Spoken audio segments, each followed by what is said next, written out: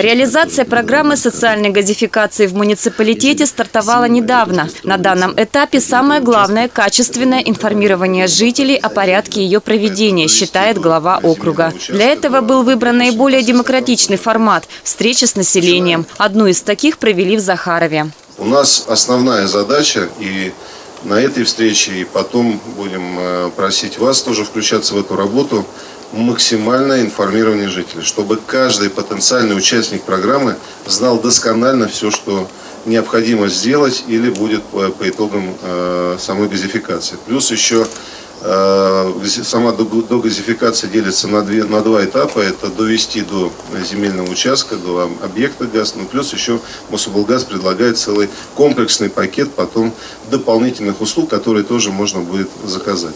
Программа социальной газификации до января 2023 года должна быть завершена. За это время бесплатно проведут газ границам участков в 186 населенных пунктах Одинцовского округа. При этом расстояние от дома до ближайшего газопровода значения не имеет. Программа касается индивидуального жилищного строительства и пока не затрагивает СНТ.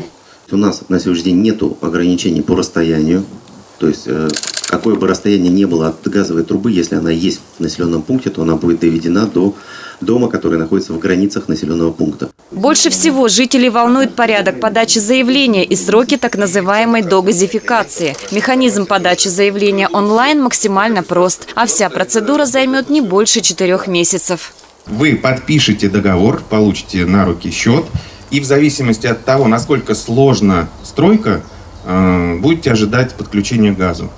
Э, скажу сразу, в идеале, если распределительный газопровод идет по вашей улице, мы будем стремиться к тому, чтобы в течение трех, максимум четырех месяцев, при условии, что э, вы оплачиваете оборудование, вы оплачиваете работы по вент-каналам, у вас появляется тепло в доме.